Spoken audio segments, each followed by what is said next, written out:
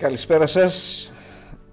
Εδώ είμαστε, από ό,τι βλέπω, βλέπω το, ρολόι, το ρολόι μου δείχνει 12 λεπτά μετά τις 8. Σήμερα Τετάρτη 9 Ιανουαρίου 2019 και είμαστε έτοιμοι με την εκπομπή μας Ελεύθερη Παρισία Θάλλοντες να επικοινωνήσουμε με τον συγγραφέα τον κύριο Βλάση Ρασία να συνεχίσουμε αυτό που αφήσαμε από τον προηγούμενο χρόνο και κάναμε και μια Μικρή ανάπαυλα θα πω τις δύο προηγούμενες εβδομάδες. Ε, εδώ είμαστε λοιπόν και σήμερα και πάλι. www.radionewfm.com Ο διαδικτυακός μας σύνδεσμος. Εκπομπή ελεύθερη παρουσία θάλλοντες και με ιδιαίτερη ευχαρίστηση θα πω θα καλέσω τον κύριο Ρασιά. Έχουμε βέβαια προβλήματα λόγω καιρού, ε, προβλήματα ηλεκτρισμού και δικτύου θα πω, αλλά θα δούμε και να να ευχηθούμε να τα ξεπεράσουμε ανώδυνα χωρίς κάποια ιδιαίτερα προβλήματα τεχνικά. Πάμε να τον... Ε... Ναι, τι κάνουμε, καλά. Καλησπέρα, καλά. Επικοινω... Καλή χρονιά. Καλή χρονιά. Με ακούτε κανονικά και σας ακούω. Εγώ τουλάχιστον σας ακούω. Ναι, ναι, ναι. Ωραία. Καλή χρονιά με τεμποδίων θα πω.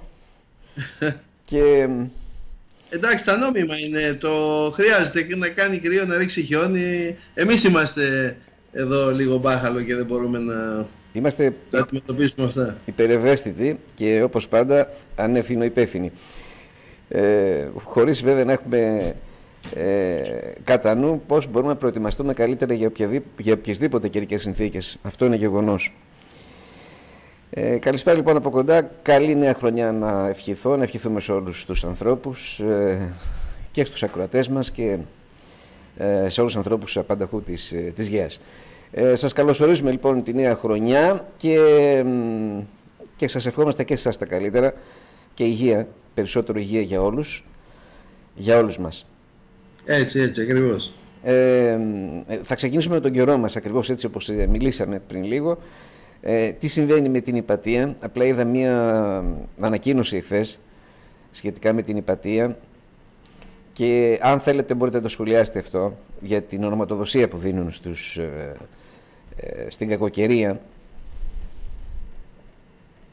Ναι, παλαι, αυτό ε, υπήρχε από ένα σημείο και μετά χρονικά ε, μου φαίνεται από την Αμερική ξεκίνησε ότι να ονοματίζουν τους τυφώνες, τα διάφορα έτσι δύσκολα καιρικά Ε, παλιά δίνανε, θα μπορούσαμε να πούμε σαν κωδικές ονομασίες δηλαδή και, και για να τις θυμώνται για να μπορούν να τις κατατάξουν, να μην βάζουν ημερομηνίες ο τυφώνας της 15ης ας πούμε Ιουλίου να έχουν κάποια ονόματα. Στην αρχή ε, υπήρχε και κάποια διαμαρτυρία από τις γυναίκες γιατί δεν είναι γυναικεία ονόματα Ονόματα δηλαδή τώρα λέμε Τζούλια, τέτοιο, δηλαδή χωρίς ε, να υπάρχει κάτι συγκεκριμένο.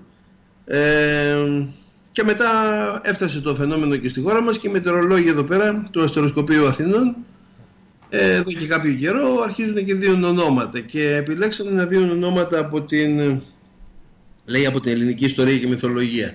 Μέχρι εκεί έχει καλός. Ε, η μυθολογία τουλάχιστον ε, έχει να μας δώσει αρκετά έτσι, ονόματα, ε, υποτίθεται διασαλευτικών δυνάμεων και τέτοια πράγματα.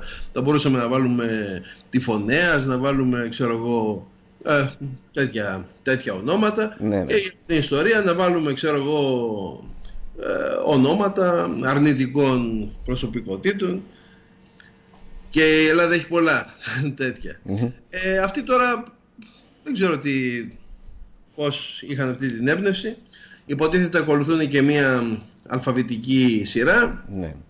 Αφού λοιπόν φτάσανε και είπανε για τον Περσέα, είπανε ε, για τον Ζορμπά, ό,τι να είναι ας πούμε. Mm-hmm. στο τέλος φτάσανε και στο Ήψιλον και κρίνανε καλό να βάλουν το όνομα της Υπατίας. Δηλαδή τώρα για ένα για μια, ένα φαινόμενο ε, καταστροφικής κακοκαιρίας ας πούμε. Ε, εντάξει, είναι μια λέξη που αρχίζει από ύψιλον, μέχρι εκεί καλά. Αλλά το συγκεκριμένο όνομα η υπατία δεν είναι απλώς μια ένα όνομα είναι η γνωστή Αλεξανδρινή φιλόσοφος, επιστήμονας, εθνική και φυσικά και γυναίκα που είχε παρησία να βγαίνει και να διδάσκει σε μια πολύ δύσκολη εποχή.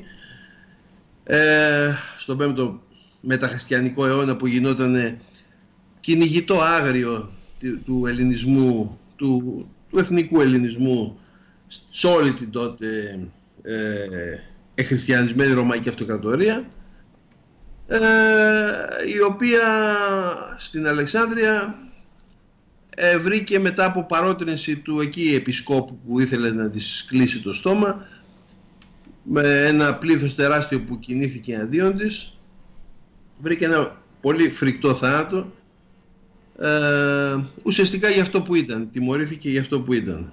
Τέσσερις κακές ιδιότητες. Δηλαδή ο 5ο αιώνα να είσαι γυναίκα που διδάσκεις να είσαι επιστήμον να είσαι πλατωνική φιλόσοφος και να είσαι και εθνική ε, εκεί ήταν νομίζω ναι, ναι. ένας πολύ άσχημος συνδυασμός για, για σένα άμα τον είχες αυτό το συνδυασμό. Ε, και φρόντισαν φυσικά οι, εκεί οι εκκλησιαστικές αρχές να την ε, κατακριουργήσουν να τελειώσει αυτή η εκκρεμότητα. Ε, την σεπετέθηκε κάποια στιγμή ένα τεράστιο πλήθος φανατικών χριστιανών την ε, μεταφέρανε μέσα σε μια εκκλησία και εκεί την κόψανε κομματάκια με όστρακα. Όστρακα είναι σπασμένα αγκία, δηλαδή να φανταστούμε επειδή όλοι σήμερα έχουμε μεταπλαστικά, yeah. Ναι. έχουμε λίγο, δεν έχουμε τόσο κοντινή σχέση με τα, με τα πύληνα. Να φανταστούμε τώρα σπασμένες γλάστρες, ναι, ναι. ωραία που κόβουν, που χρησιμοποίησαν τα κομμάτια αυτά για να την κατεκρεουργήσουν και μετά τα κομμάτια της αφού τα περιφέρανε μέσα στην πόλη φωνάζοντας στη φωτιά οι μάγισσες στη φωτιά ε, ανάψε μια μεγάλη φωτιά και κάψανε το σώμα της στο κομματιασμένο. Είναι ένας μάρτυρας ουσιαστικά ε, όχι μόνο του ελευθέρου πνεύματος, όχι μόνο της επιστήμης, όχι μόνο της φιλοσοφίας, όχι μόνο του εθνισμού, όχι μόνο τη, της γυναικείας ε, ε, ουσιαστικά χειραφέτης θα μπορούσαμε να πούμε γιατί τότε μια χαρά ήταν στον αρχαίο κόσμο μετά ήρθε το σκοτάδι. Ε, αλλά επίσης ε, κάτι παραπάνω από αυτό που το βλέπουμε στον, ε, αργότερα στον Τζιορντάνο Μπρούνο που το 1600 τον καίνε ζωντανό στο, στη Ρώμη που το μαρτύριο του του Τζιορντάνο Μπρούνο είναι η αφετηρία για το σύγχρονο κίνημα της ελεύθερης σκέψης και του διαφωτισμού αργότερα κτλ. Τέλος πάντων αυτό το λίγο φως που έχουμε σήμερα ναι. υποτίθεται ξεκινάει από τις εποχές εκείνες που άνθρωποι αρχίζαν και ψαχνόντουσαν. Ε, η, ο Τζιορδάνο Μπρούνο συμβολίζει μια αφετηρία, ε, η, η πατία συμβολίζει ένα τέλος, το τέλος του φωτεινού αρχαίου κόσμου, το τέλος του κόσμου των Ελλήνων και του ελεύθερου ανθρώπου ουσιαστικά. Μετά έρχεται το σκοτάδι. Ε, είναι ένα πολύ βαρύ όνομα δηλαδή για να μπορέσουμε τώρα να το πιάσει κάποιος ναι. είτε από ασχετοσύνη είτε, από, είτε ηθελημένα και να το βάλει ως όνομα μιας, ε, ενός κύματος κακοκαιρίας. Μέχρι βαθμού γελιότητος δηλαδή είναι αυτό το πράγμα. Ναι, εγώ σκέφτηκα κάτι άλλο. Μήπως τελικώς είναι και μια αφορμή για να μάθουν ποια ήταν η πατία. Δηλαδή να μπουν στη διεργασία. Ε, εγώ νομίζω ότι αυτός που μπαίνει στη διεργασία για να μάθει το έχει μάθει ήδη. Δηλαδή υπάρχουν δύο ναι. είδη ανθρώπων. Αυτοί που, οι άνθρωποι που είναι φιλομαδείς και ψάχνονται και ήδη ξέρουν. Ε, υπήρξε ολόκληρη ταινία που κάνανε χωρί ναι. και όλα. Δεν ήταν δική μας. Ναι, ναι. Και μάλιστα είναι γραμμένη και από μια τσιγωνία ε, Ιουδαϊκή, ας πούμε. Οι παράγοντες της ταινίας οι περισσότεροι είναι Ιουδαίοι, δεν είναι καν ε, της ναι. ε, της δικής μας πλευράς Παρ' όλα αυτά ήταν ε, αξιόλογη η ταινία. Η αγορά την είδαμε πριν από κάποια χρόνια. Έτσι, ήταν και συγκλονιστική. Ε, αν και δεν έδειχνε την πραγματικότητα ε, στην έκτασή του, δηλαδή το μεγάλο πρόβλημα. Ξέρετε τι είναι να ε, είσαι Έλληνας, δηλαδή με την παιδεία την ελληνική στην Αλεξάνδρεια και να βλέπεις να καίγονται βιβλιοθήκες, να κρεμίζονται τα γάλματα, να, δηλαδή ναι. μιλάμε για ένα, ένα κάτι κάτι εφιαλτικό. Εμείς σήμερα λόγω χάρη αν εδώ είχαμε κάποια επίθεση από ορδές Ισλαμιστών. Ε, δεν έχουμε κάτι αξιόλογο για να βλέπουμε να γκρεμίζεται. Ε, τους χριστιανούς ως πονέσει και οι Ισλαμιστές δεν τις πειράζουν τις εκκλησίες. Τέλος πάντων, ε, δεν έχουμε και κάτι. Δηλαδή, πέρα από τα γάλματα στην, ε, στην ε, Πανεπιστημίου της Αθηνάς και του Απόλλωνος, δεν υπάρχει κάτι εδώ πέρα για να μας συγκλονίσει να το δούμε να πέφτει. Ε, είναι ένα άμορφο πράγμα με τσιμέντο, γυαλιά και σίδερα, δηλαδή η πόλη μας και ναι. τίποτα το ελληνικό. Ε, γι' αυτό είναι δύσκολο πολύ να καταλάβει κάποιος να γκρεμίζεται όλη η σημειολογία γύρω του, δηλαδή να είναι μια πόλη φημισμένη, διαμάντη. Η Αλεξάνδρεια ήταν φτιαγμένη από τους Πτολεμαίους ως ύμνος πολεοδομικός και μνημιακός ύμνος προς τον ελληνισμό. Μάλιστα. Ε, και αποτελούσε από ένα και μετά και ένα από τα σημαντικά κέντρα του ελληνισμού όπως ήταν η Αντιόχεια, όπως ήταν η, η Πέργαμος, όπως ήταν και φυσικά και η Αθήνα κτλ. Ε, οπότε φανταστείτε έναν άνθρωπο που μεγάλωσε μέσα σε αυτό το περιβάλλον να του δει ξαφνικά να γκρεμίζεται ε, βία και ξαφνικά και χωρίς αιτία ουσιαστικά. Απλώς κάποιοι άνθρωποι δεν θέλουν τη γνώση, δεν θέλουν τον πολιτισμό και λέει θάνατος στους Έλληνες. Ε, γιατί ο Έλληνας τότε συμβόλιζε ακριβώς την παιδεία, τον ελληνισμό ε, και φυσικά αν ε, χρειάζονται εκατομμύρια εργατόρες για να γραφτούν βιβλία και να μπουν σε βιβλιοθήκες σε ράφια χρειάζονται πέντε λεπτά μόνο και μερικές καλές δάδες για να τα εξαφανίσουν αυτά. Ε, αλλά αυτό είναι βέβαια το τραγικό που έχει η ανθρωπότητα. Το είχε γράψει και ο, ο Ουμπέρτο Έκο ότι η ιστορία των βιβλιοθηκών στο, στην ιστορία της ανθρωπότητας είναι ε,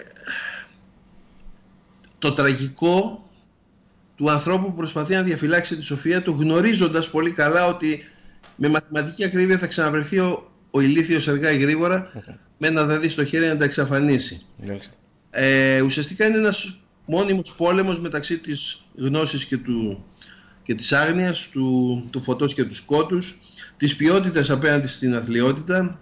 Είναι αυτό που είχα διατυπώσει παλαιότερα προέκταση αυτού, ε, ότι τελικά η διαχρονική σύγκρουση μέσα στην ανθρωπότητα, στη, μέσα στην ανθρώπινη ιστορία, είναι η, η ατελείωτη σύγκρουση των λίγων ποιοτικών ανθρώπων με τους πολλούς ε, χιδαίους.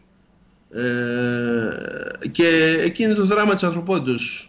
Βρίσκονται ελάχιστοι άνθρωποι να βάλουν πλάτη για να πάει λίγο ψηλά η ανθρωπότητα και αμέτρητα πλήθη πρόθυμα να την ξανακρεμίσουν στα τάρταρα. Ε, και δυστυχώς ε, είναι μια πραγματικότητα όμως αυτό μέχρι να αλλάξει το ανθρώπινο είδος και να περάσει σε μια άλλη εξελικτική του φαση ε, αυτό είναι που βλέπουμε στην ιστορία του μέσα. Και γι' αυτό ήταν τραγικό σε μια χρονική στιγμή που ε, δεν έχει και την καλύτερη εικόνα την πολιτισμική Ελλάδα. Ε, στη βαρβαρότητα αγκαλίτσα είμαστε. Ακριβώς. Ε, είναι να ε, έρθει κάποιος και να δώσει ένα όνομα υπατία ε, σε, μια, σε ένα κύμα κακοκαιρίας που θα, που θα, που θα προκαλέσει ζημιές κάποιοι άνθρωποι θα χτυπήσουν, ίσως και σκοτωθούν εξαιτίας αυτού του κύματος, γιατί είναι και ένα κράτος απροστάτευτο. Δεν είμαστε εμείς ε, Γερμανία και Αυστρία, αν και είδα και στην Αυστρία είχαν προβλήματα, αλλά πόσο μάλλον εδώ τώρα στο, ρεμπέτε, στο, ναι, ναι. στο λιμένο πράγμα, ας πούμε. Ναι, ακριβώς. Ε, οπότε σε, κάτι που θα κουβαλέσει μια αρνητική φόρτιση, ε, ε, πάει ο άλλος και κολλάει ένα όνομα το οποίο είναι άγιο, είναι ιερό.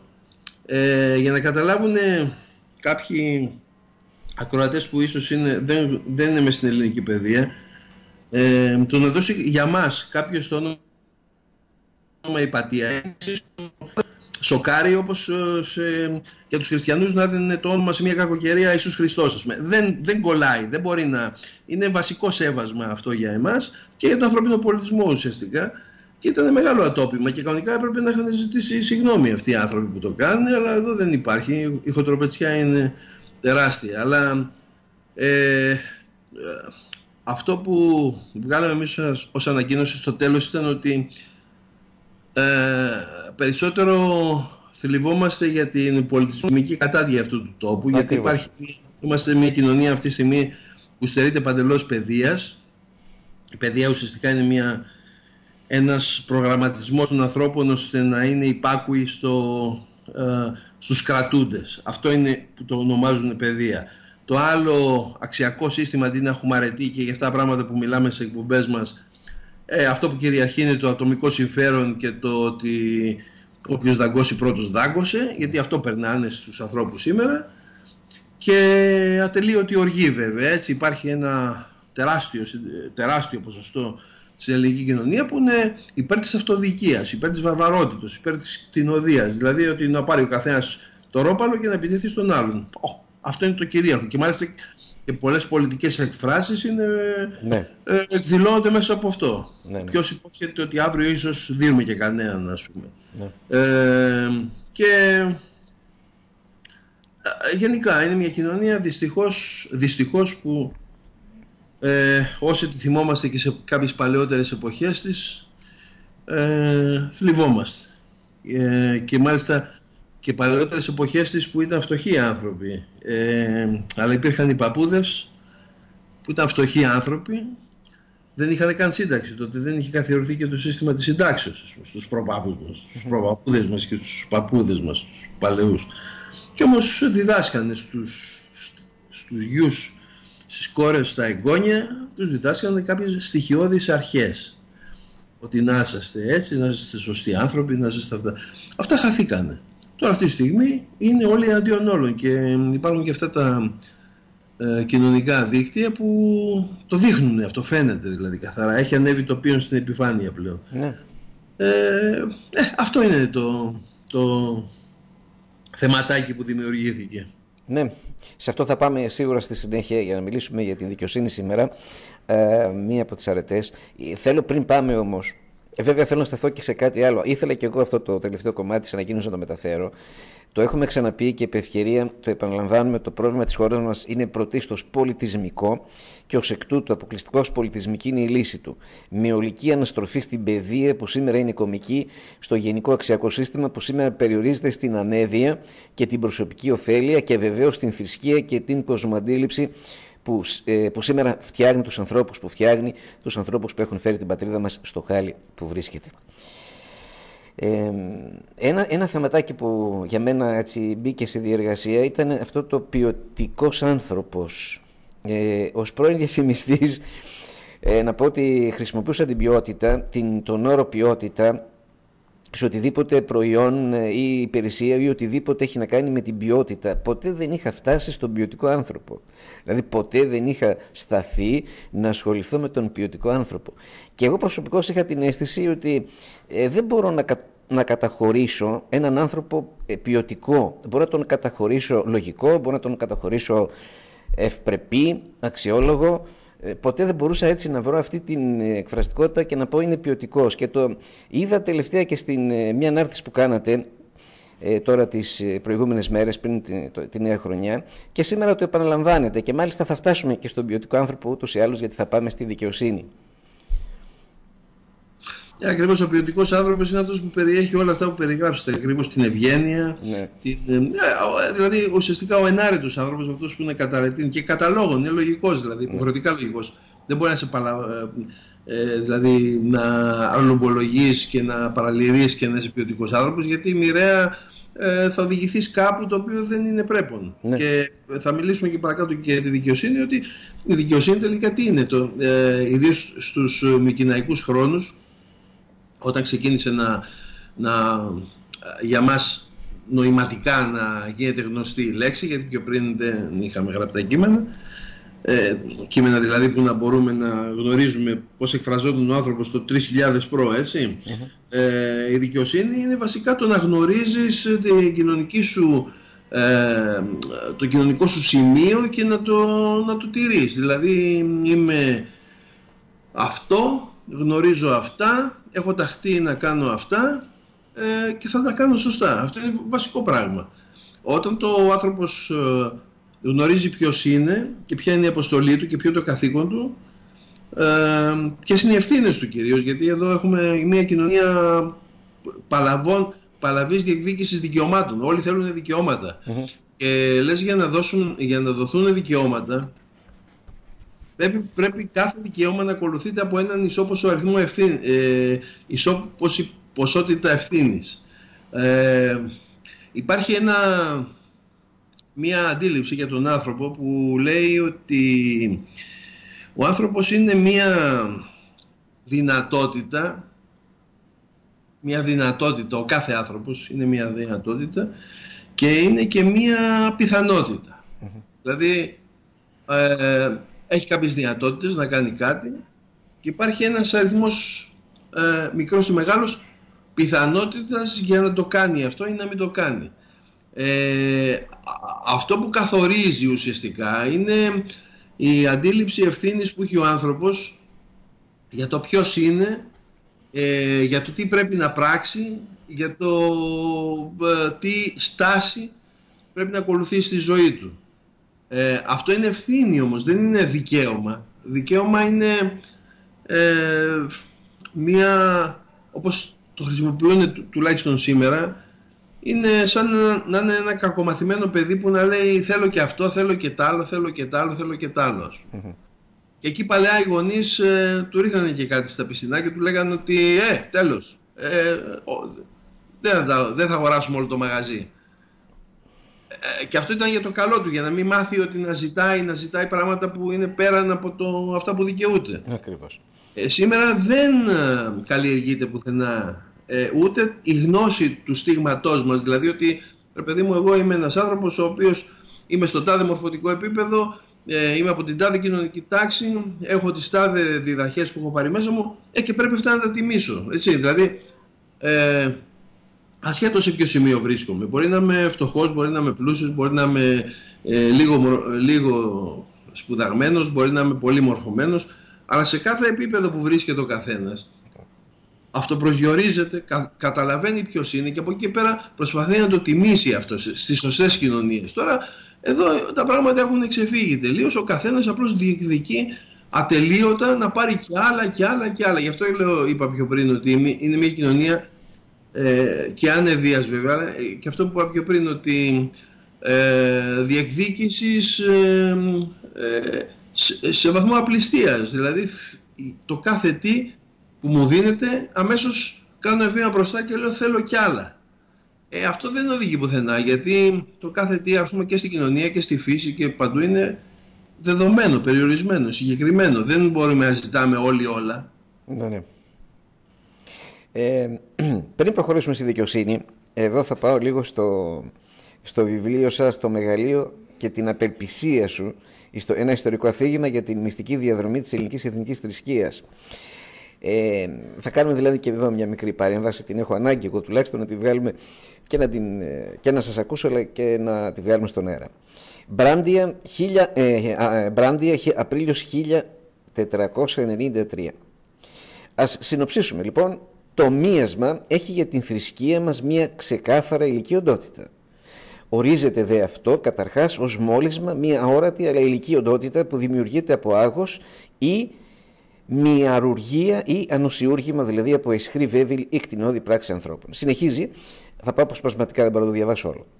Στην συνέχεια, εδώ θέλω να σταθώ. Είναι όντως ο λόγος αυτός που επιτρέπει τον στοχασμό, το φιλοσοφήν και θρησκεύεστε όπως και είναι αυτός που από την άλλη πλευρά του λόφου επιτρέπει και την ψυχοβολία, την μυσαλλοδοξία ή την μαγκανία. Εδώ και αρκετούς αιώνες στην αίρα Βουλγαρής η γη μας... Βαρβαρική εποχή. Ναι, ναι. Η γη μας έχει μολυνθεί από το πληθωρικό μίασμα που εκτοξεύουν τεράστια ανθρώπινα πλήθη που έχουν εχμαλωτιστεί από το σκότος και το υπηρετούν. Συνειδητά οι λίγοι, ασυναίσθητα όλοι, οι άλλοι, ταυτόχρονα με κάθε σπάνια ανώτερη, δηλαδή ποιητική ή φιλοσοφική ή απλώς αγαθή σκέψη, η, η βάρβαρη πια ανθρωπότητα εκτοξεύει υπερπολαπλάσιες μολυσματικές και κακές σκέψεις. Σκέψεις που έχουν να κάνουν μόνο με κυριαρχία, κερδοσκοπία, κακεντρέχεια, φθόνο, μυσαλλοδοξία και χιδεότητα. Αυτό είναι το μεγάλο πρόβλημα της εποχής μετά την περιπόληση των βιβλιοθηκών και των ναών στους οποίους λατρεύθηκε το ωραίο και το αληθινό της εποχής μετά το σφράγισμα των φιλοσοφικών σχολών του παλαιού κόσμου. Ναι, και σε αυτό το κομμάτι εγώ φανερώνω πράγματα πολλά.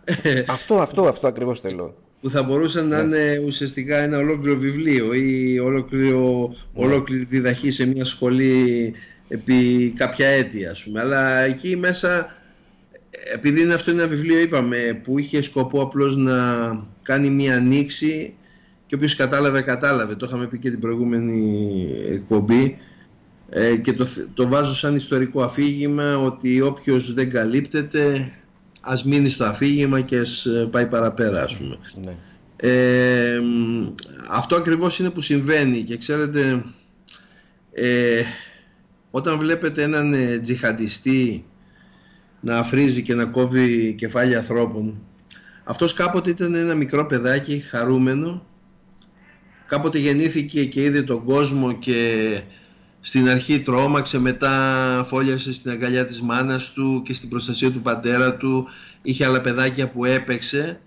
Ναι. Και από ένα σημείο και μετά ενώ πήγαινε έτσι φυσιολογικά μπήκανε ανώμαλα πράγματα στο κεφάλι του.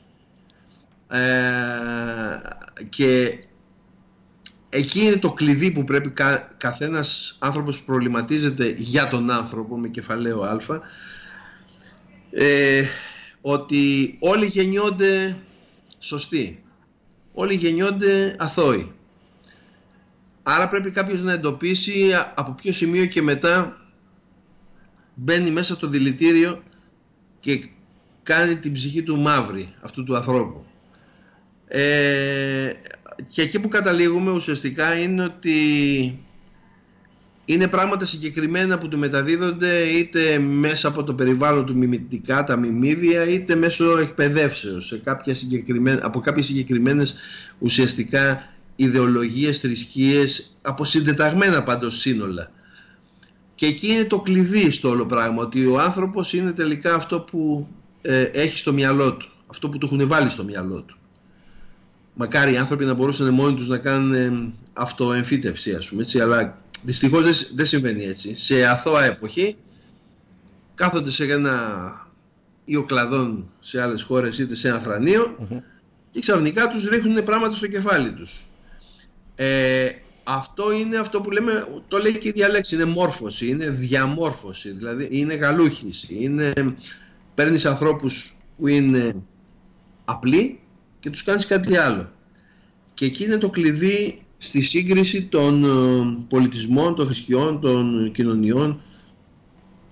Ε, όλες οι κοινωνίες βγάζουν και σαβούρα, βγάζουν και καλους Αυτό που τους λέω πάντα στους ανθρώπους είναι ότι δεν κάνουμε σύγκριση ε, του τωρινού κόσμου με τον αρχαίο κόσμο και λέμε ότι ήταν κοινωνία αγγέλων ο αρχαίος κόσμος. Έβγαζε και αυτή σε σταθερό ποσοστό προφανώς η κοινωνία, το ίδιο ανθρώπινο είδος είναι της Σαβούρα, τους παλιαθρόπους και τα λοιπά. Αλλά εκεί η ειδοποιώς διαφορά είναι η πρόθεση του θεσμού που θέλει να οδηγήσει τον άνθρωπο. Δηλαδή, αυτό το σύστημα που αρχίζει πιάνει το παιδάκι, το απλό παιδάκι και του βάζει πράγματα στο κεφάλι για να τον κάνει μετά ένα συγκεκριμένο ενήλικο που θα τον διαχειριστεί μετά. Διαχειριστεί δεν το λέω ούτε με κακή έννοια ούτε με ναι, ναι καλή. Ναι. Κάθε κοινωνία ενδιαφέρεται να διαχειριστεί τα μέλη της ε, του βάζει συγκεκριμένα πράγματα που τον προκαθορίζουν τροποντινά. Ε, δηλαδή ε, το παιδάκι αυτό ε, που τώρα βγάζει ένα μαχαίρι και κόβει λαιμούς ήταν μια χαρά παιδάκι στα δέκα του. Κάθισε όμως και κάποιοι του βάλανε μέσα συγκεκριμένα πράγματα για να τον κάνουν αυτό που κατέληξε τελικά να γίνει. Και αυτό που συγκρίνουμε ανάμεσα στους πολιτισμούς και στις κοινωνίες είναι η πρόθεση των θεσμών για το που θέλουν να οδηγήσουν τον άνθρωπο και δει ε, ε, το, των θεσμών που έχουν να κάνουν με την εκπαίδευση, με την παιδεία ουσιαστικά. Μάλλον με την, με την μόρφωση, τη διαμόρφωση, γιατί το παιδεία είναι πολύ συγκεκριμένο. Πάμε κατευθείαν στο αρχαιοελληνικό, έτσι. Ε, και εκεί γίνεται η σύγκριση και βλέπουμε ότι στον ελληνικό κόσμο γινόταν τεράστια προσπάθεια για να σηκώσουν τον άνθρωπο πάνω από το μέσο επίπεδο και να τον κάνουν ευγενή, αυτό που λέμε ποιοτικό, καθα... βάζοντας την αρετή και το λόγο μπροστά και προσπαθώντας να τον κάνουν ε, έναν άνθρωπο ο οποίος καλύπτει αυτά τα που σήμερα κάπου άμα τα λες όλα σε κοιτάνε και περίεργα, δηλαδή να είναι φιλάνθρωπος, ναι. να είναι ανθρωπιστής, να, είναι, να έχει αλτρουισμό. Δηλαδή είναι ένας άνθρωπος που είναι περισσότερο για να δίνει παρά για να κατασπαράσει, όπως είναι τώρα. Ε, και έχεις μετά τις άλλες τις αντιλήψεις, οι οποίες ενδιαφέρονται να φτιάξουν, να ανανεώσουν το κοπάδι των πιστών. Δηλαδή, και μάλιστα και η σύγχρονη δυστυχώς εδώ παιδεία του ελληνικού κράτους λέει: Εμείς θέλουμε να φτιάξουμε, λέει, το, είναι το επίσημο δόγμα, το εκπαιδευτικό μας. Ντροπή δηλαδή, αλλά δυστυχώς αυτή είναι και το λένε, δηλαδή το Σύνταγμα του.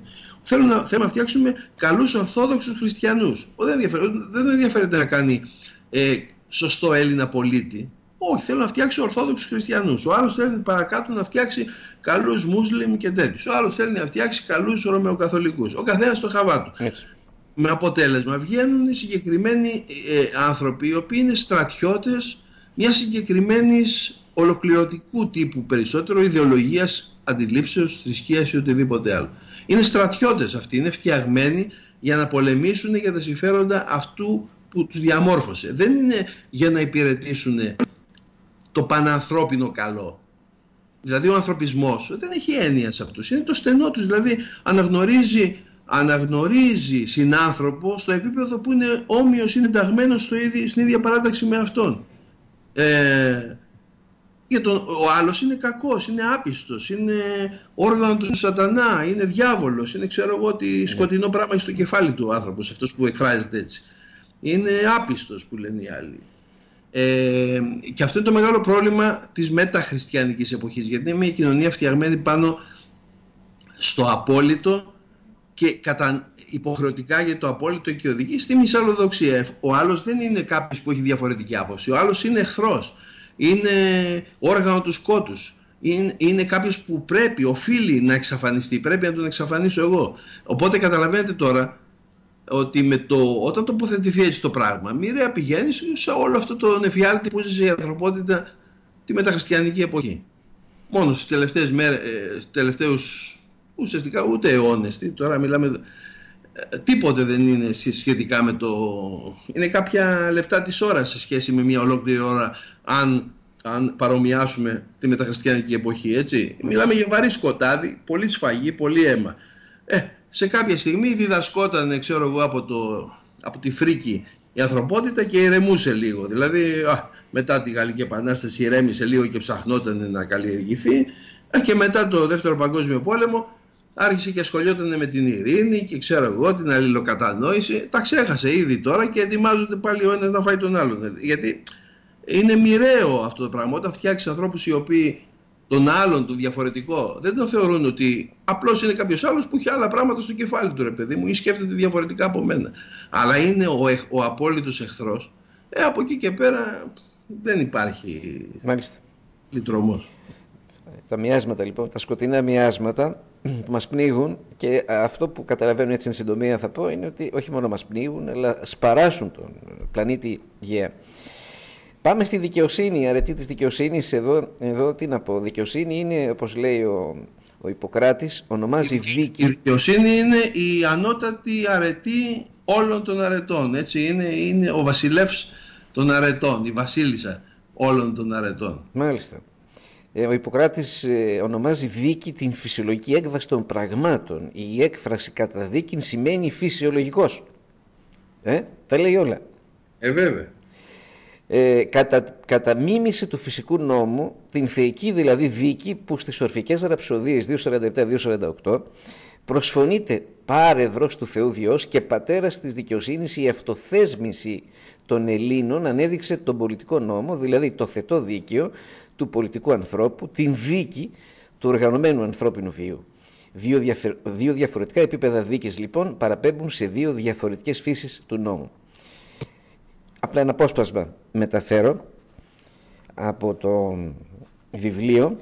Ακριβώς και αυτό είναι η δίκη. Η εφαρμογή της τώρα της δίκης είναι αυτό που λέμε δικαιοσύνη. Ε, μάλιστα είχα και ε, σήμερα έτυχε να ανεβάσω και ένα σχετικό δημοσίευμα σχετικά με την δικαιοσύνη, γιατί ε, θα μιλήσουμε και γι' αυτό, έχουν, έχουν αλλάξει τελείως οι ορολογίες. Ε, ο τίτλος είναι Πώς να τηρήσεις κάτι που εσύ ο ίδιος αγνοείς, Πώς να ελέγξεις έναν δημόσιο λειτουργό αν ενεργεί ορθά όταν εσύ ο ίδιος αγνοείς το ορθό. Αυτό έχει, να... Βέβαια. Αυτό έχει να κάνει ε, με το ότι δεν μας στέει η δικαιοσύνη όταν λέμε «Α, η δικαιοσύνη δεν πράττει, η δικαιοσύνη είναι ανεύθυνη, η δικαιοσύνη τα παίρνει» και ούτω καθεξής, φταίει ο δικαστής στις μέρες μας. Ε, έχουμε χάσει τους όρους και τις εκφράσεις μας. Ε, πάντως έχουμε, έχουμε την τάση να, να ρίχνουμε ευθύνες παντού, χωρίς να, να αναλαμβάνουμε τις δικές μας. Ναι, γιατί όταν, όταν κάποιος δεν έχει το αυθυπεύθυνο, Ακριβώς. Κοιτάει να το μεταθέσει την ευθύνη αυτή κάπου αλλού. Αυτό, αυτό έχει δημιουργηθεί ουσιαστικά. Πάλι ξαναγυρίζουμε σε σύγκριση. Δυστυχώς. Ναι. Είναι μοιραία αυτή η σύγκριση του προχριστιανικού μεταχριστιανικού κόσμου. Προχριστιανικά ήταν το αυθυπεύθυνο. Έλεγες κύριε, εγώ ε, έκανα αυτό και φταίω εγώ. Έτσι, έτσι έκρινα, έτσι έπραξα. Καλά, καλά ή κακά. Και δεν ναι. υπάρχει ουσιαστικά ούτε συγχώρεση ούτε τίποτα. Ε, στο μεταχριστιανικό κόσμο δεν φταίεις εσύ φταίει ο διάβολος. Με έβαλε λέει ο διάβολος. Ε, ο άλλος λέει με, ξέρω εγώ, παρέσυρε ο, ο φίλος μου. Ε, δεν υπάρχει το αυθυπεύθυνο. Έχει αποσυρθεί από, από τη βασική αντίληψη που έχει ο άνθρωπος για τον εαυτό του και για τα περιβάλλοντα πράγματα και ε, περισσότερο μέσω από τη θρησκεία περνάει αυτό ότι ο, ο, ε, φταίει ο όφης που ναι. έφαγε το, δηλαδή πάντα κάποιος με παρέσυρε αυτό το η άρση του, του αυθυπεύθυνου από τον άνθρωπο είναι καταστροφικό για τον ανθρώπινο πολιτισμό ουσιαστικά. Γιατί ο άνθρωπος είναι, είναι ον ευθύνης. Δεν μπορεί να είσαι ένας άνθρωπος έλογος, ένα ον έλογο συγκροτημένο που ξέρει τι του γίνεται και να μην έχεις ευθύνη των πράξεών σου ή να πράττεις πράγματα που θεωρείς ότι δεν έχουν παρενέργειες ή συνέπειες. Δηλαδή κάνω κάτι Α, πού να ξέρω ότι θα συμβεί αυτό. Ναι, ρε φίλε, κάθε τι που πράττεις έχει κάποιες συνέπειες. Οφείλεις πρωτού πράξεις κάτι να ξέρεις ποια θα είναι τα αποτελέσματα, ή πιθανά αποτελέσματα, οι παρενέργειες. Ε, Δυστυχώς σήμερα τα πράγματα είναι πολύ απλά. Ότι έχω δίκιο εγώ, οι άλλοι φταίνε και πάει έτσι. Και όταν, όταν το λες αυτό, σημαίνει ότι ποτέ δεν θα κάνεις αυτοκριτική ώστε να μπορέσεις να, να αλλάξεις, να βελτιωθεις πάντα θα φταίει κάποιος άλλος που είτε σε παρέσυρε, είτε σε ξεγέλασε, είτε σε εκμεταλλεύτηκε ή οτιδήποτε άλλο. Το αντίθετο της δικαιοσύνης είναι η αδικία, την οποία ορίζει ο Αριστοτέλης στο περιαρετών και κακιών ως κακία ψυχής, καθήν πλεονεκτική οι άνθρωποι, δηλαδή εντός παρενθέσεως, γίνονται παρά την αξία και εν συνεχεία την διακρίνει σε τρία είδη. Την ασέβεια προς θεούς, τεθνεώντες και πατρίδα, την πλεονεξία απέναντι στους συνανθρώπους και την ύβρη. Ακριβώς. Η... Δεν μπορούμε να συλλάβουμε εμείς το αδικία, τι το θεωρούμε εμείς σήμερα, ότι με αδίκησε ο τάδε, έτσι και σταματάει εκεί η νοηματοδοσία. Εδώ πέρα έχουμε, έχουμε σου, λέει, σου λέει ότι κοίταξε να δεις, η ασέβεια προς τους θεούς, προς την πατρίδα μας, προς τους ε, προγόνους μας που έχουν πεθάνει, ναι.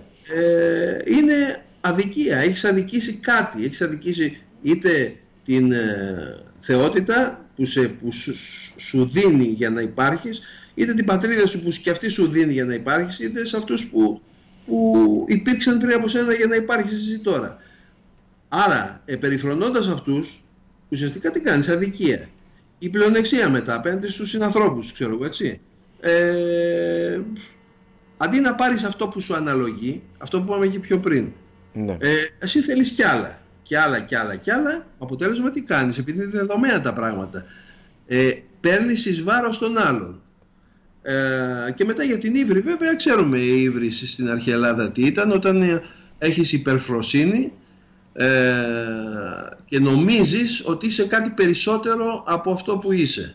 Δηλαδή δεν έχεις το γνώθι σε αυτόν, αλλά θέλεις να διεκδικήσεις κάτι το οποίο δεν το δικαιούσε. Είναι πέρα από την ανθρώπινη δυνατότητα και δικαιοδοσία. Δηλαδή, ο άνθρωπος στο ανώτατο επίπεδό του θα είναι ένας πολύ πνευματικός άνθρωπος. Ένας τέλειος άνθρωπος. Ένας άνθρωπος που θα νομίζει ότι είναι Θεός ασκεί ύβρι. Φυσικά υπάρχει και η διαδικασία, ξέρουμε μετά, που μας το διδάσκει η τραγωδία, της αποκατάστασης της κάθαρσης ουσιαστικά. Γιατί είναι μια βασική διασάλευση να υπερβείς τα μέτρα σου από αλαζονία ε, αλλά είναι μεγάλη συζήτηση. Κάθε ένα από αυτά τα ναι. πράγματα που λέμε, όπως και εκείνη την παράγραφο που διαβάζετε από το, από το, το μεγαλείο και την απελπισία σου ναι. ε, παίρνουν αναλύσεις επί αναλύσεων δηλαδή τώρα κάθε λέξη από αυτές που λέμε ας πούμε ξέρω εγώ η, η πλεονεξία, η ασέβεια, η ύβρις είναι μπορεί να γίνουν ολόκληρες διαλέξεις πάνω σε αυτά. Ναι, ναι. Το, αυτό το, το βρήκα μπροστά μου όταν προσπάθησα να κάνω κάποιες επεξηγήσεις σε κάποιους τοίχου που είχα γράψει. Ναι, ε, ναι το, το, το αντιμετώπισα και λέω αν έμπλεξα. Το έχω ξαναπεί και άλλη φορά. Ε, η αδι... ναι. ένα, ένα σημαντικό να πούμε εδώ ναι. ότι ε, ε, επειδή έχουν μικρύνει σήμερα οι λέξεις, έχουν αλλοιωθεί, έχουν ε, περιοριστεί, έχει φτωχύνει και το λεξιλόγιο. Ναι. Ε, Κάποιος που θέλει να γράψει ένα δοκίμιο λόγω χάρη απαιτητικό, οφείλει από κάτω να κάνει σημειώσεις επί σημειώσεων. Και θυμάμαι την περίπτωση στο, στις εκδόσεις Penguin ε, στα αγγλικά που μεταφράζουν τον Παυσανία του Ελλάδος Περιήγησης και το μεταφράζει κάποιος μάλιστα που ε, είναι Λεβί, ξέρω, είναι και, και Εβραίος ε, στην καταγωγή αυτός ε, και φτάνοντας στο ευνομία το αφήνει αμετάφραστο και βάζει αστερίσκο και κάνει από κάτω ολόκληρη ανάλυση ότι δεν είναι law and order, δεν είναι νόμος και τάξη το ευνομία. Το ευνομία είναι αυτό και εκείνο και τ' άλλο και αυτό και κάνει μια διάλεξη πολύ ωραία, πετυχημένη και τον θαύμασα κιόλας. Ε, και το αφήνει γιουνόμι και λέει θα το αφήνω γιουνόμια λέει εδώ πέρα γιατί δεν μεταφράζεται στα αγγλικά αυτή η λέξη. Μάλιστα. Ε, ε, δυστυχώς τώρα επειδή υπάρχει λεξιπενία ναι. ε, λόγω, εντάξει, καλλιεργείται ουσιαστικά ο λειτουργικός αναλφαβητισμό. Οι άνθρωποι τελειώνουν, ξέρω εγώ, τριτοβάθμια εκπαίδευση ε, και, και, και τρελαίνε σε μερικές φορές δεν καταλαβαίνουν ούτε καν κάποιες βασικές λέξεις που τους λες. Ε, Δυστυχώς τώρα θα, θα φτάσουμε σε σημείο κάποια στιγμή να λέμε ότι δεν υπάρχει στην νεοελληνική αντίστοιχη ε, αυτή η λέξη. Δηλαδή το ευνομία. Ε, για κάτε μια, ένα έτσι αναρωτηθείτε πόσες φορές το έχετε ακούσει πούμε, στα δελτία ειδήσεων, στους πολιτικούς, στη Βουλή κτλ. Δεν, δεν ασχολείται κανεί. Καμία, καμία. Ναι, όπως, όσο ξένη είναι για την ε, αγγλική γλώσσα, σε λίγο θα είναι και για την ελληνική. Θα είναι έξω από το λεξιλόγιο του, του μέσου ανθρώπου. Ναι, μάλιστα, εμείς συζητώντας για τις αρετές, άρχισα και εγώ να λέω, αμάν υπάρχουν ε, όροι, λέξεις, οι οποίες δεν τις γνώριζα και μου δίνουν και την ευχαρίστηση να τις προφέρω. Ευμηχανία. Ναι, και αυτό το, το ευσυναλλαξία, αυτά που, αυτά που λέγαμε. Ναι, ναι, ναι. ναι. Ευτολμία. Ναι, δηλαδή πράγματα που. και πόσο διευρύνεται ο, ο, ο νοητικός ορίζοντας του ανθρώπου όταν ε, ναι. μπει μέσα σε αυτές τις λέξεις. Έτσι. Είναι ναι. αυτό, αυτό είναι το εκπληκτικό της γλώσσας μας. Ευτραπελία. Ακριβώς. Ε, φιλαλληλία. Ε, Εξαιρετικές. Ε, εξαιρετικότατες. Λοιπόν, πάμε στην αδικία. Η αδικία, πάω λίγο ανάποδα για να πάμε στη δικαιοσύνη.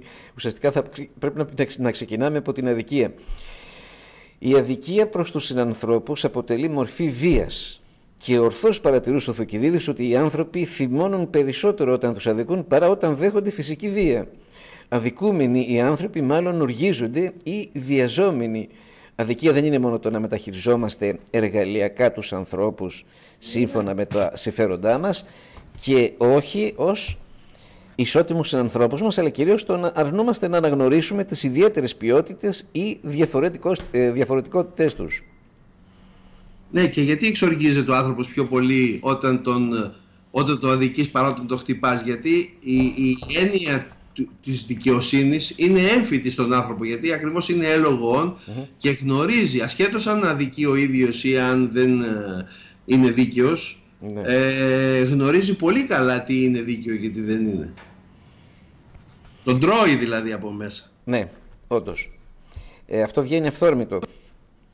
Ε, Επιστρέφοντας τώρα στη δικαιοσύνη, αυτή αποτελεί θεολογικός για τους Έλληνες το κυριότερο ίσως χαρακτηριστικό των Θεών, με κύριους εφόρους της, τον Θεό Δία και τη Θε Νέμεση, εκ του ρήματος Νέμο, ε, μοιράζω από Νέμο, ε, ή ιχνέη ή αδράστια, εκείνη από την οποία ουδής διαφεύγει και θέμιδα, την ηθική δηλαδή τάξη και εν συνεχεία συνείδηση με την οποία ο Ζεύς μυθολογείται ότι απέκτησε την θεά δίκη ή κατά τον άρατο την έφορο της δικαιοσύνης αστρέα. Ως θηγατέρα της δίκης μυθολογείται κατά τον Πίνδαρο η ησυχία. Ναι, αυτό, αυτό είναι μια ποιητική ε, σύλληψη που είναι πολύ ενδιαφέρουσα. Δηλαδή, ε, πώς μπορούμε δηλαδή να ε, μεταφέρουμε την... Ε, του, του Πινδάρου. Να την εκφράσουμε, ναι. Η ησυχία είναι ακριβώς ε, ε, η, η ειρήνη ουσιαστικά. Αυτό το ναι. ε, ότι η δικαιοσύνη τι παράγει ουσιαστικά. Μια ναι. κοινωνία δικαιοσύνης παράγει μια εφταξία. Αυτή η εφταξία λοιπόν τι παράγει ειρήνη, ησυχία, γαλήνη. Μάλιστα. Την κοσμική δικαιοσύνη ως δίκη αναφέρει πρώτο στην φιλοσοφική ιστορία ο Ναξίμανδρος, ο οποίος εναλλάσσει τον όρο με τον όρο τήσης τιμωρία επανόρθωση εκ του ρήματος τίνου, επανορθώνω, στην προσπάθειά του να περιγράψει την σταθερή και αδιάπτωτη αλλαγή των αντιθέτων ουσιών, το ομότροπο της γέννησης και φθοράς, των πραγμάτων με την ποιητική φράση «γιατί δίδουν το ένα στο άλλο διαδρομή και αποκατάσταση χρεούμενα και ξεχρεώνοντας την αδικία το ένα στο άλλο στου χρόνου τη ροή». Ναι, εδώ ε, είναι ε, στο, στην παρουσίαση του αξίματο είναι ο άκαπτος νόμος που ακριβώς ε, ε, κάνει αυτή, την, αυτή τη συγκεκριμένη διαδικασία. Ναι, αλλά λέει εδώ, ε, ε, ναι, γιατί δίδουν το ένα στο άλλο διαδρομή και αποκατάσταση, χρεούμενα και ξεχρεώνοντας την αδικία το ένα στο άλλο του χρόνου τη ροή. Ναι, ακριβώς. Δηλαδή, Ό,τι υπερβαίνει το ναι. όριο και δημιουργεί προβλήματα ε, ε, μπαίνουν μέσα από αυτόν τον άκαπτο νόμο, έρχονται πάλι σε ισορροπία, λογοδοτούν και προχωράμε και πάμε παρακάτω. Μάλιστα. Δηλαδή ουδής μπορεί να ξεφύγει. Α, βέβαια, μα ακριβώς ότι πάνω από τους θεούς στην ελληνική θεολογία και κοσμολογία και οντολογία είναι ακριβώς η αδράστια. Είναι, θα μπορούσαμε να πούμε ότι ταυτίζεται με την ανάγκη, αλλά ακριβώς είναι το αναπόδραστο, ότι τα πράγματα είναι έτσι και ο, θες δεν θες εσύ, τα πράγματα θα είναι έτσι και το εσύ δεν αφορά μόνο άνθρωπο, αφορά και το Θεό. Μάλιστα. Ε, στους Pythagoreans, στους οποίους οι αριθμοί αποτελούν σύμβολα εκφράζουν, εκφράζοντα την ουσία των όντων και των φαινομένων, η δικαιοσύνη ως συμπαντική ιδιώτης, μ' αρέσει ο όρος εδώ, είναι εκπληκτική τοποθέτηση. Η δικαιοσύνη ως συμπαντική ιδιώτης εκφράζεται με τον αριθμό 4. Την τετράδα που αντιπροσωπεύει την ολοκλήρωση. Τα πάντα ολοκληρώνονται στην πρόοδο από το 1 στο 4. Δηλαδή, 1 συν 2 συν 3 συν 4 ίσον 10, η οποία μόνη οδηγεί στην τετρακτήν, το αιώνιο πρότυπο για τον κόσμο και την ψυχή. Κατά τον ίδιο τον Πυθαγόρα, η δικαιοσύνη είναι τετράγωνη, σε όλα τα μέρη της ίση και όμοια. Την δικαιοσύνη ως αρετή εξυμνεί και ο ίδιος ο Πυθαγόρας, σύμφωνα τουλάχιστον με το ανθολόγιο του Στοβέου, Θ37, θεωρώντας την μία ισχυρότατη συνεκτική δύναμη μεταξύ των ποιοτικών ανθρώπων. Αυτό που λέγαμε, ξένος, ανήρ δίκαιος ου πολίτου, αλλά και συγγενούς διαφέρει. Δηλαδή, ο δίκαιος ξένος είναι ανώτερος όχι μόνο από τον συμπολίτη, αλλά και από τον συγγενή. Ε, εδώ είναι ακριβώς ε, ε, λέει τα ίδια ακριβώς πράγματα ε, στη δικιά μας εποχή ο Γάλλος ο φιλόσοφος ο Αλέντε Πενουά στις 25 αρχές ηθικής που τις τελειώνει την 25η ε, αρχή ηθικής που αφού παρουσιάζει ένα, είναι μια ενδιαφέρουσα αυτή ε, παράθεση αρχών ηθικής που το, τους είχα κάνει παλαιότερα ε, τους είχα παρουσιάσει στην αίθουσά μας ε, και τελειώνει με το συγκλονιστικό που ουσιαστικά λέει τα ίδια πράγματα που λέει εδώ πέρα ο Πυθαγόρας ότι όλοι οι ποιοτικοί άνθρωποι του κόσμου είναι αδέλφια. Όλοι οι ποιοτικοί άνθρωποι, όχι όλοι οι άνθρωποι αδέλφια, όλοι οι ποιοτικοί άνθρωποι του κόσμου είναι αδέλφια ανεξαρτήτως λέει καταγωγής τόπου, αυτό, προέλευσης κτλ. κτλ. Δηλαδή μπαίνει ακριβώς στο ποιοτικό μέσα αυτό εδώ πέρα που λέει και λέει ξένος ανήρ δίκαιος. Αυτό είναι, αυτό είναι ακριβώς η βασική σύμβαση ναι. για να τον θεωρήσω εγώ ως ανώτερο και από τον ε, τυχαίο ε, και ίσως άδικο συγγενή και οποιοδήποτε άλλο. Αλλά τι πρέπει να είναι αυτός ο ξένος ανήρ για να τον πάρω εγώ ως ε, συγγενή μου, να τον δω ότι είναι αδέρφη μου. Είναι το δίκαιος. Το δίκαιο. Ε, αυτό είναι που καθορίζει ακριβώς. Μάλιστα. Και μέσω, ναι. δικαιοσύνης, μέσω της δικαιοσύνης γίνεται πολιτισμένος και μέσω του, της ιδιότητας του πολιτισμένου ουσιαστικά στην ε, δικιά μας την εποχή των Ελλήνων πάβει να είναι βάρβαρος και γίνεται Έλλην. Ακριβώς αυτό που καθορίζει τον Έλληνα, αυτόν που έχει ακριβώς το αξιακό σύστημα των Ελλήνων, πρώτιστο, το πάνω-πάνω, η ανώτερη αρετή είναι δίκαιος. Ο δίκαιος λοιπόν ε, άνθρωπος είναι ουσιαστικά πάνω ακόμα και από τη γραμμή της συγγένειας. Είναι ε, ο δίκαιος αναγνωρίζει τον δίκαιο και τον ασπάζεται. Μάλιστα. Ο Σοκράτης υπογραμμίζει, σε ένα μικρό απόσπασμα θα πάω πάλι για να προλάβουμε, ο Σοκράτης υπογραμμίζει τέλος ότι η αρετή της δικαιοσύνης είναι απαραίτητη προϋπόθεση του αγαθού πολίτη. Ουχ ίοντε άνευ δικαιοσύνης αγαθών πολίτην γένεστε. Και προειδοποιεί επίσης ότι η χειρότερη μορφή αδικίας είναι να νομίζει κάποιος δίκαιο αυτό που μόνο τέτοιο δεν είναι. Ναι, ακριβώς. Εδώ έχουμε... Α, εδώ επειδή έγινε ένα παράδειγμα πριν από την πλευρά σας για τη δικαιοσύνη σήμερα, αυτό που ονομάζουμε δικαιοσύνη, δηλαδή ουσιαστικά την, ναι. μία από τις εξουσίες είναι αυτό, δεν, είναι δικαιο... δεν έχει σχέση με τη δικαιοσύνη. Έτσι. Απλώς για να λειτουργήσει η πολιτεία έχουν ένα συγκεκριμένο βραχείο ο οποίος κάνει κάτι συγκεκριμένο. Ναι. Προσπαθεί να εφαρμόσει τους νόμους κτλ. κτλ. Ε, το, και υπάρχουν κάποιοι άνθρωποι που ψηφίζουν αυτούς τους νόμους μέσα από συγκεκριμένες διαδικασίες. Εδώ πέρα ακριβώς είναι κομβικό αυτό το σημείο. Η χειρότερη μορφή αδικίας είναι να νομίζει κάποιος δίκαιο αυτό που μόνο τέτοιο δεν είναι. Δηλαδή ένας στημένος νόμος, ένας απαταιωνίστικος νόμος που έχει γίνει αυτά που τα γνωρίζουμε, αυτά που γίνεται στην Ελλάδα, τροποποίηση τη τροποποίησεω κτλ. Ναι. Για να φωτογραφηθεί ο χι συγγενής που θα πάρει το, την εργολαβία κτλ. Ε, ε, είναι η χειρότερη μορφή αδικίας. Ε, ναι, μεν μέσα από νόμο παρουσιάζεται, φαίνεται ότι είναι δίθεν ε, ε δίκαιο αυτό που γίνεται, αλλά δεν είναι δίκαιο.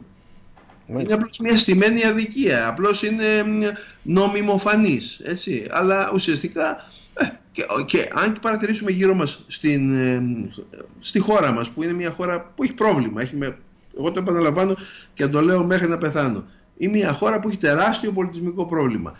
Ε, άμα δούμε τη χώρα μας, θα δούμε ότι είναι πάνω από το 50% των ε, πραγμάτων που έχουν να κάνουν με μέσα εισαγωγικά είτε εκτός εισαγωγικά ε, που είναι άδικα. Και εκεί ουσιαστικά είναι, θα μπορούσαμε να πούμε ότι είναι μια πηγή πάρα, των περισσότερων από τα κακά που βλέπουμε γύρω μας. Ναι, επίσης σκέφτομαι το εξής τώρα, αν ρωτήσεις κάποιον καταδικασμένο για κάποιο αδίκημα, θα σου πει αθώος είμαι. Η δικαιοσύνη δεν είδε ότι είμαι αθώος και με δίκασε.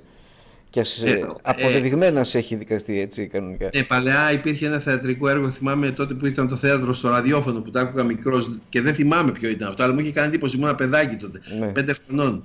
Που μπαίνει στο κελί ο άλλος και του λέει ο άλλος που είναι μέσα ήδη. Ναι. Φιλαράκο, δίκαια ή άδικα. Ήταν δηλαδή βασικό ερώτημα ναι. στο, στον φυλακισμένο, σε αυτόν που ερχόταν στο κελί, να τον ρωτήσει το πρώτο πράγμα δηλαδή, αντί για τη σύσταση ή πώς λέγεσαι ή τι είσαι, ναι. Ταράκο εδώ που έρχεσαι δίκαια ή άδικα. Άρα υπήρχε, ναι. ε, ε, σε, γι' αυτό λέω ότι στην παλιά εποχή ήταν, τα πράγματα δεν ήταν τόσο, γιατί κάποιοι πάμε να περάσουν ότι ήταν, έλα μωρέ έτσι ήταν πάντα. Η Ελλάδα ήταν ένα, ας πούμε, μια προβληματική κοινωνία πάντα που ποτέ δεν είχε αστική τάξη πραγματική ώστε να δημιουργήσει ε, κανονικό πολιτικό πολιτισμό ας πούμε αλλά ε, υπήρχε το ηθικό, το υψηλό επίπεδο που, που ακόμα και ο αγράμματος ο Βοσκός το έδινε στο παιδί του, του έλεγε πέντε πράγματα που να το στηρίξει και υπήρχε αυτή η αντίληψη, το θυμάμαι δίκαια ή άδικα. Και εκεί προφανώς θα του έλεγε ο άλλος ναι δίκαια ή άδικα ξέρω εγώ ή αυτό.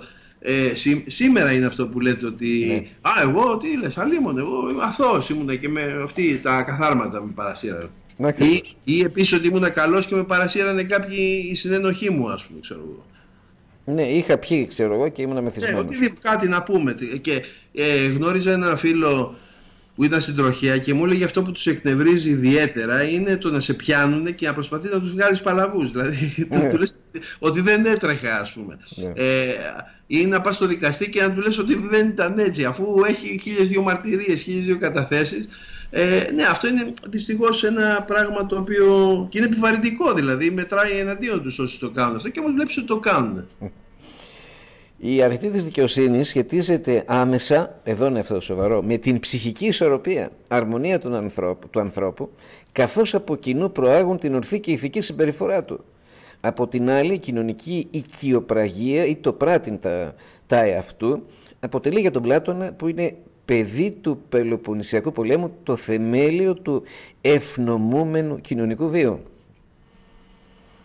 Ναι, ακριβώς γιατί ο Πλάτωνας πρέπει να το ξέρουμε αυτό. Δηλαδή, όταν επεξεργαζόμαστε το έργο του, πρέπει να ξέρουμε ότι είναι ένας άνθρωπος τραυματισμένος, που, που απευθύνεται σε επίσης ε, κοινωνία τραυματισμένη με ανθρώπους τραυματισμένους. Δηλαδή, ε, είναι παιδί του Πολυπονσιακού πολέμου. Ναι. Ήταν ε, μία, ένας πόλεμος συγκεκριμένος που καταργήθηκαν μία σειρά από, ηθικές, ε, από ηθικούς κανόνες. Δηλαδή δεν, δεν δηλητηρίαζε στα νερά, δεν έκανες ατιμίες, δεν έκανες αυτά για το, απέναντι στον εχθρό και εκεί πέρα καταργήθηκαν όλα αυτά. Τα, τα είδαμε όλα. Ήταν καθολικός πόλεμος εκεί, βρώμικος. Ναι. Ε, ε, από να δηλητηριάζουν τα πηγάδια μέχρι να τοξεύουν τους οπλίτες τους παγιδευμένους στη σφακτηρία. Ε, οπότε έχουμε πλέον μια Ελλάδα η οποία δεν είναι αυτή που ήταν στα μυδικά. Είναι μια τραυματισμένη πλέον ηθικά Ελλάδα.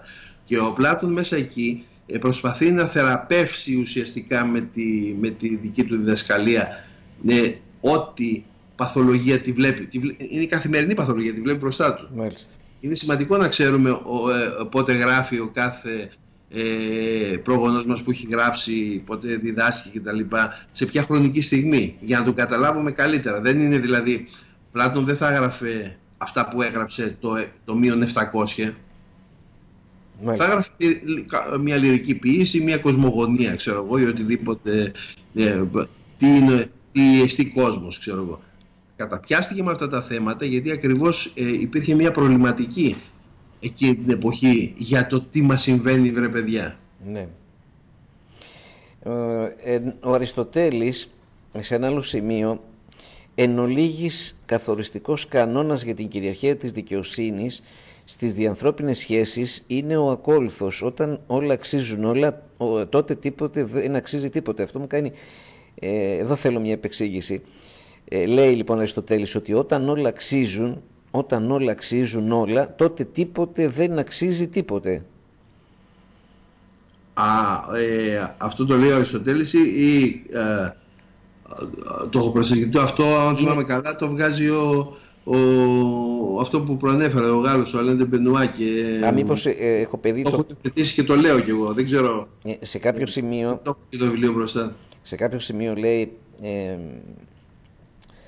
α, μισό λεπτάκι γιατί παίρνω λίγο το, το, εκεί που τελειώνει που το υπογραμμίζει ο Αριστοτέλης και συνεχίζω ε, με τον Φαύλο ή τον Επιφανή με τον Ασήμαντο δεν υπάρχει τίποτε πιο άνισο από την ίση μεταχείριση των ανίσων. Α, αυτό, αυτό ακριβώς. Υπογραμμίζει αυτό. ο Αριστοτέλης και εν ολίγης καθοριστικός κανόνας για την κυριαρχία, άρα είναι συμπερασματικό αυτό. Ναι, ναι, ναι. ναι, Εν ναι. ολίγης, γιατί τα σημειώνω και. Ναι, αυτό είναι δικό μου. Ναι, ναι. Είναι δικό, Α, είναι δικό σας. Ωραία, είναι συμπερασματικό. Ναι. Ο Αριστοτέλης έλεγε αυτό ότι δεν υπάρχει τίποτε πιο άδικο από την ίση ε, αντιμετώπιση και μεταχείριση των ανίσων. Δηλαδή, όταν λέμε ο τάδε είναι φαύλος και ο τάδε είναι σωστός και τους λέμε, Ε, καλά παιδιά, είστε και δύο, εκεί πέρα αμέσως αδικείται ο σωστός. Ναι. Ε, και αυτό βέβαια κατά κόρο γίνεται σήμερα. Σου λέει ε, οι άνθρωποι προκειμένου να μην πάρουν θέση, ε, πολλές φορές κάθονται ανάμεσα σε μια ε, πασιφανή ε, μια σχέση που είναι πασιφανές το ποιος έχει δίκιο και ποιος έχει άδικο και λέει καλά παιδιά είστε μωρέ βρείτε τα μεταξύ σας. Εκεί τι θέλει αυτός αδικεί ουσιαστικά εκείνη τη στιγμή αυτό που έχει δίκιο. Ναι, ναι. γιατί, γιατί απλώς αυτός δεν θέλει να έχει ευθύνη και βγαίνει απ' έξω. Είναι μια άδικη αντιμετώπιση του όλου πράγματος. Ή να αντιμετωπίζει ξέρω εγώ το το όμορφο, το αυτό που έχει υπάρξει δουλειά από πίσω του για να φτιαχτεί και το άλλο που είναι μια σαχλαμάρα και να κάθεσαι να λες ότι ναι ρε παιδί μου και τα δύο δημιουργήματα εξαιρετικό αρκεί να ξέρω εγώ πρέπει να τιμούμε τους δημιουργούς όχι δεν τιμούμε τους δημιουργούς τιμούμε αυτούς που φτιάχνουν ωραία πράγματα εξοδεύοντας πολύ χρόνο και πολλή ενέργεια από τον εαυτό τους. Όχι ο άλλος που κάνει ε, σαχλαμαρίτσες. Δηλαδή για το κάθε τι ναι. πρέπει να υπάρχει η αντιμετώπιση του σαν αυτό που είναι. Όταν τα αντιμετωπίζεις οριζόντια και ίδια, όπως το κάνει και σήμερα η πολιτική σήμερα. Δηλαδή ε, αντιμετωπίζουν οριζόντια ε, τους ανθρώπους λες και υπάρχει δηλαδή ας πάρουμε τώρα την περίπτωση του, του, αυτού, του, του γελίου φόρου που, του έμφυα που φορολογούν το μη εισόδημα ε, και έχεις έναν άνθρωπο ο οποίος ξέρω εγώ δούλευε όλη του τη ζωή και έφτιαξε κάποια πράγματα και έρχεσαι και τώρα και του λες: Θα μου πληρώνεις φόρο και βαρύ μάλιστα γι' αυτό. Και έχεις έναν άνθρωπο ο οποίος ε, ε, έχει μια οικονομική δυνατότητα και στα πληρώνει. Και από την άλλη μεριά υπάρχει ένας ε, συνταξιούχος ο οποίος παίρνει ξέρω 500 ευρώ και έρχεσαι εσύ και του λες: Δώσ' μου 1500, δώσ' μου τρία μηνιατικά από τα 12 που σου δίνω, ε, γιατί έχεις δουλέψει στο παρελθόν και έχεις φτιάξει κάτι πράγματα που τώρα είναι Ε, αυτή η οριζόντια αντιμετώπιση θεωρείται normal για τους πολιτικούς. Σου λέει, εγώ κάνω ένα νόμο δίκαιο για όλους. Ναι, αλλά πρέπει να σκεφτείς τις περιπτώσεις που αυτός ο άνθρωπος δεν είναι ίδιος με τον άλλον που έτυχε αυτή τη στιγμή και παίρνει, ξέρω εγώ, 1500 ε, ε, ευρώ λόγω χάρη σύνταξη και θα του φας μία σύνταξη του άλλου θα του φας τρεις συντάξεις και με τα υπόλοιπα δεν έχει να φάει ε, και το βλέπουμε γίνεται κατά κόρο έτσι, σε, ότι εγώ κοίταξε να δεις το έκανα για όλους. Μα το για όλους είναι το πρόβλημα. Μάλιστα. Ε, και θέλω να κλείσουμε με την επίοικια. Ε, μ' αρέσει ο όρος επίοικια μ' αρέσει δεν είναι σχετικό βέβαια. Απλά ε, ε, πρέπει και να τοποθετηθούμε δηλαδή. Ω επίοικια θα μπορούσε λοιπόν να οριστεί η σταθερή ανεκτικότητα στην κάθε είδους αξιολόγηση των ανθρωπίνων πράξεων, η οποία αποτελεί νόμου επανόρθωμα. Θα μπορούσε επίσης να οριστεί. Α, εδώ πήγαμε σε αυτά που είπα πιο ναι. πριν. Ακριβώς αυτό. Ότι ναι. δεν είναι οριζόντιος ο νόμος. Ο νόμος έχει μετά μπαίνει μέσα και ακριβώς και η, η, στην εφαρμογή του εκεί πέρα μπαίνει η επίοικια. Ναι. Ε, η επίοικια, θέλω, αυτό ήθελα να πούμε, ε, η επίοικια είναι αναπόφευκτη. Ή δεν πρέπει να υπάρχει; όχι, ο, ο νόμος έχει ένα γενικό χαρακτήρα. Από εκεί και πέρα οφείλει ναι. η πολιτισμένη κοινωνία να δείχνει επίοικια απέναντι στην, ε, κατά την εφαρμογή του. Δηλαδή δεν μπορεί να πω εγώ ότι όποιος σκοτώνει ε, τον σκοτώνουμε. Υπάρχει κάποιος που σκότωσε για να περασπιστεί ξέρω εγώ το παιδί του. Ναι. Ε, Άμα πεις οριζόντια λοιπόν ότι, Α, κοίταξε να δεις, γυρίζω το, το βιβλίο ότι λέει σκότωσε, σε σκοτώνω. Τέλος, ας πούμε, δεν κάθομαι να συζητάω. Εκεί ακριβώς είναι που μπαίνει μέσα. Είναι, είναι ο πολιτισμός στην εφαρμογή της δικαιοσύνης η, η επίοικια. Μάλιστα. Είναι αυτό, αυτό που λέγανε είναι νόμο επανόρθωμα, δηλαδή ότι ο νόμος είναι Ε, και γι' αυτό χρειάζονται και δικαστές. Κανονικά μπορούσαμε να είχαμε ένα κομπιούτερ και να λέγαμε τι έκανε αυτός. Ξέρω εγώ, έκλεψε, Α, κόβουμε χέρια. Ας πούμε, που το, υπάρχουν τέτοιες κοινωνίες ε, και μάλιστα επικαλούνται και τέτοιους νόμους και θέλουν να τους φέρουν εδώ. Όπως και επίσης την κατάργηση της θανατική ποινής που είναι μεγάλο επίτευγμα για τον πολιτισμό. Που ανά πάση στιγμή, όταν γίνεται κάτι ιδεχθέ, υπάρχουν ένα σωρό ανόητοι άνθρωποι που λέει ε, να φέρουν τη θανατική ποινή. Μα η θανατική ποινή θα σου τύχει εσένα αύριο και θα υπάρξει μία, ε, ε, μία ε, σκευωρία και ναι. θα σε καθαρίσουν και μετά θα δίνουν στα παιδιά σου χαρτιά η πολιτεία ότι συγγνώμη σκοτώσαμε λάθος τον πατέρα σου όπως έγινε με τους Σάκο και Βαντζέτη στην Αμερική. Ο, ε, αλλά ο καθένας ό,τι του ήρθε ας πούμε. Υπάρχει, και το μεγαλύτερο πρόβλημα σήμερα είναι ότι ε, οι άνθρωποι είναι πολύ πρόθυμοι να ε, ε, ασπάζονται προτάσεις ηλικιότητος τέτοιες ας πούμε. Ότι «Ω, κάνουμε αυτό». Πρέπει, είπαμε και πιο πριν που μιλήσαμε ότι ο άνθρωπος πρωτίστω πρέπει να έχει ευθύνη και να ξέρει κάθε τι που λέει, κάθε τι που πράττει, κάθε τι που στοχεύει, ε, τι αποτελέσματα θα έχει. Υπάρχουν για το κάθε τι συνέπειες. Δεν μπορεί να λες ότι εγώ, α, εγώ έτσι σκέφτηκα και έτσι έκανα. Όχι, οφείλει να σκέφτεσαι τις συνέπειες. Μάλιστα. Για τους στοικούς γενικότερα το δίκαιο δεν είναι θέση, επειδή δηλαδή το ορίζει και θέτει ο άνθρωπος, αλλά φύση, δηλαδή αιώνιο και φυσικό, καθώς συνυπάρχει με τον αιώνιο κόσμο. Στην πολιτεία του ο Ζήνων θεωρεί περιττή την ανέγερση δικαστηρίων γιατί απλώς οι ομολογουμένους στη φύση ζώντες είτε ενάρετοι πολίτες ποτέ δεν θα αδικούν. Ναι, αυτό βέβαια να πούμε ότι η πολιτεία του Ζήνων ήταν μια, ένα έργο ουτοπίας, έτσι δεν ήταν πολιτική πρόταση. ε, Όπως και η πολιτεία του Πλάτωνα είναι μια, πάλι ουτοπικό έργο. Ε, ναι. Δηλαδή, όταν γράφω μια ουτοπία, σημαίνει ότι ε, ε, μπαίνει μέσα και το φανταστικό και, ή προτείνω τολμηρότερα πράγματα από ό,τι μπορεί να αντέξει η ανθρωπότητα. Ε, ναι, δεν ήταν για ότι αυτό το προτείνουμε εδώ και τώρα για να το εφαρμόσουμε. Δεν μπορούσε να γίνει κάτι τέτοιο. Μάλιστα. Απλώς βάζει μια προβληματική ότι αφού ο άνθρωπος έχει έμφυτο το αίσθημα της ε, δικαιοσύνης και της αδικίας και γι' αυτό όπως είπαμε θίγεται πιο πολύ όταν τον αδικείς παρά όταν τον βαράς ναι. ε, άρα γιατί αδικεί δηλαδή αυτά ήταν όπως και ο Πλάτων που βάζε για την κοινοκτημοσύνη γυναικών και τα λοιπά αυτά τα βάζανε περισσότερο για να ανοίξουν τη συζήτηση και μια άλλη συζήτηση και μια άλλη συζήτηση και να διευρυνθεί ο διάλογος όχι για να δεν ήταν ας πούμε προτάσεις ε, πολιτικό μανιφέστο που λέμε μάλιστα, μάλιστα. Εντάξει ωραία Και στη χριστιανική θέλω να κλείσω, αλλά απλά έχω κάποιες σημειώσεις, να μην τις αφήσω λίγο. Ε, στη χριστιανική εικόνα του κόσμου δεν αναγνωρίζεται δικαιοσύνη. Έξω από την σφαίρα του Ιησού η, η ομώνυμη αρετή απαξιώνεται ως δίθεν ρηχή και ανθρώπινη και η ουσία της ορίζεται σωτηριολογικά και βεβαίως παραλυρηματικά.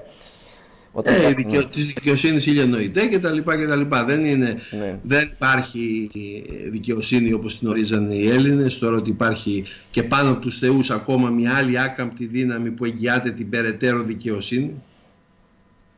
Μάλιστα. Σας ευχαριστούμε πολύ και αυτό το κρύο βράδυ, βροχερό. Και εγώ ευχαριστώ. Ε, ελπίζω να τα ενδιαφέροντα αυτά που είπαμε. Βέβαια το θέμα δικαιοσύνη είναι... Δεν εξαντλείται. Τεράστιο, Δεν εξαντλείται, ναι, ναι, ναι. Και άφησα και κάποιες σημειώσεις. Αν ε, μπορέσουμε να τα πούμε την επόμενη, στην επόμενη εκπομπή. Ναι, υγεία να έχουμε και εδώ είμαστε. Ωραία. Καλό βράδυ. Καλή, καλή δύναμη. Καληνύχτα. Να είστε καλά. Γεια, γεια. Κλείνουμε την, ε, τη σύνδεσή μας και κάνουμε αποφώνηση.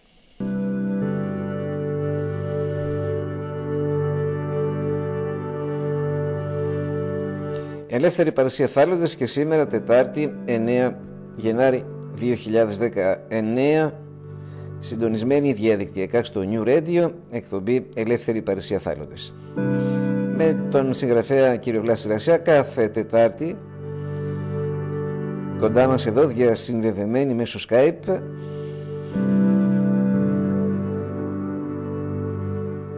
Να πω σε όλους σας καλό βράδυ και προσοχή λόγω των καιρικών συνθήκων